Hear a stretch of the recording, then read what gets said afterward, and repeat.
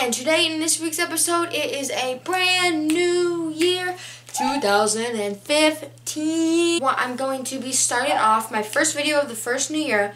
I'm going to be starting off by doing a challenge video. I'm going to be doing I'm going to be eating candy. I went to a local store and found the nastiest, oldest like candy from like the 1950s I could find.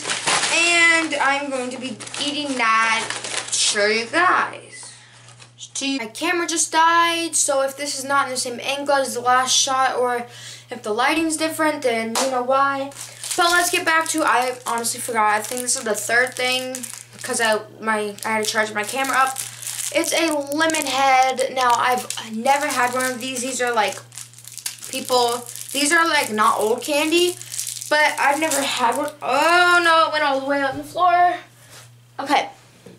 So, I'm, I'm, I'm afraid this is going to be sour. So, did I just like eat it or did I just like